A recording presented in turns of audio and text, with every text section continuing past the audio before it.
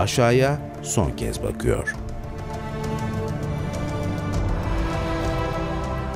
Ve kendini boşluğa bırakıyor. Hedef en yakın kaya tepesi.